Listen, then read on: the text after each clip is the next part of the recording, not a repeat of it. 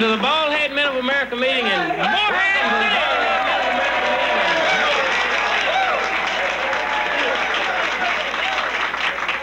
It's appropriate we're in Morehead because we've got less hair. All that's beautiful. All that's beautiful.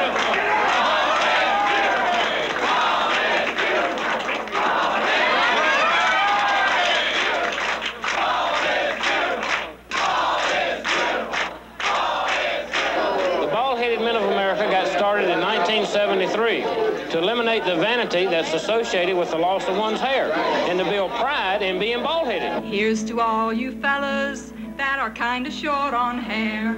Some of you have fringes, some have nothing there. Don't let it dismay you, just stand tall as you are. America. We like to say, of course, bald is beautiful, skin is in, and also if you don't have it, flaunt it.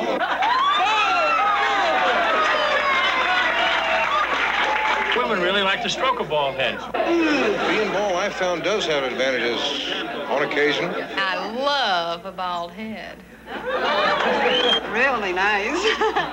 nice and smooth. You don't have to worry about the hair getting in your way.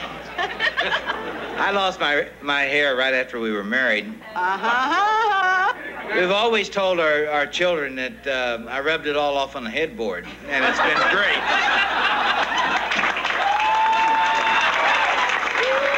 Most bald-headed men you look at are cheerful, happy, because we've been the blunt of many, many jokes.